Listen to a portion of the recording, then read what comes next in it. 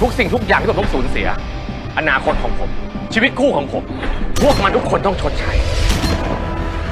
สิบปีในคุกกันนะเปลี่ยนแม่เป็นเสือมาเยอะแล้วทำไมมันจะไม่แค้นคนที่ทำมันเข้าคุกอะ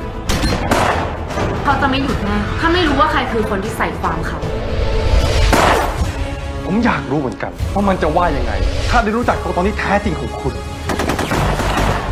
เมื่อไหร่ก็ตามที่ไอ้พวกชั่วที่มันจัดฉากใส่ร้ายผม มันได้รับผลกรรม นั่นแหละ ถึงจะเรียกว่าความยุติธรรมเนี่ยมีจริง ถูกทิ้งให้ตายอยู่ในความมืดมน จะมีใครไหมสักคน